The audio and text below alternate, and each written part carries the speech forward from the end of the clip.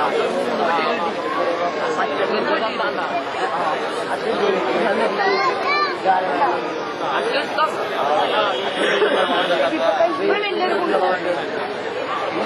అది అలా ఇది అనక పండుగ పోతుంది